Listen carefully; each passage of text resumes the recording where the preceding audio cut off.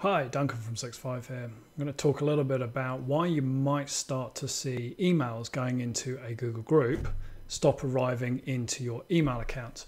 And now this applies to accounts in Google Workspace that are using Google Groups for business. Okay, so it's quite a specific uh, item, but that's what we're going to have a quick look at. Now, um, the first thing to establish, of course, is are you using groups for business? So, what you do is you come into your admin.google.com, go to apps, Google Workspace, and then groups for business, and you'll see if it's off or on for anyone in here. Now, if it's off, uh, the next bit won't be applicable uh, because you won't have those settings or that ability to do so. So what you can do is use your email log search to see what is happening to those emails.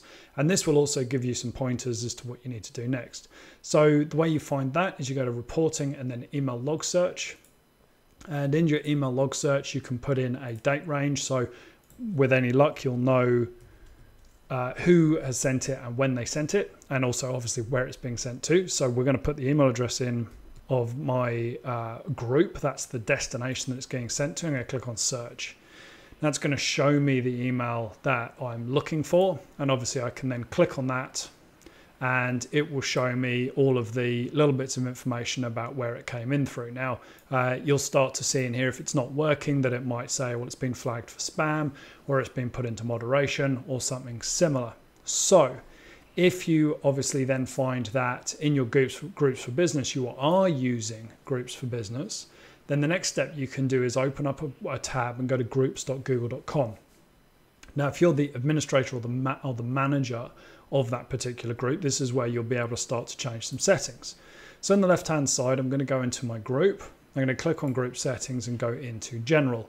There's a lot of stuff in here. Google's not done a very good job at organizing these settings. So with a bit of patience, you're going to have to scroll down and you are going to look for message moderation in here. Okay.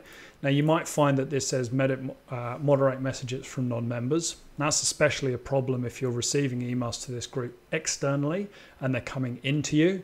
Um, and moderate all messages means that every message that comes in is going to get stuck in a holding and you need to click a, bu a button to approve them. So you probably just want to change that to no moderation. Uh, new member restrictions, again, if it's a public group um, and you're using it as a distribution list, then um, you don't want any restrictions there. And then spam related stuff, uh, yeah, you probably want to say, look, just moderate it, pop it into a box. And what will happen is, as a, as a moderator or a manager, you'll get an email that says there's spam in this group. And um, you can turn that off. Uh, you can also just say, just outright reject it. Um, but um, pop, popping it into the moderator notify is the, kind of the nice balance for that. Obviously, your account and your organization settings will also filter out that spam too, but this is a really good starting point for just making sure that those come through.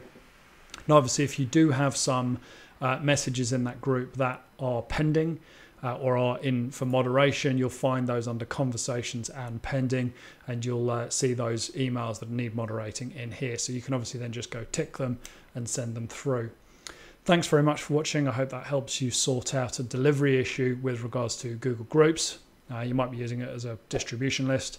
If you like this video, please take the time to like and subscribe below for more.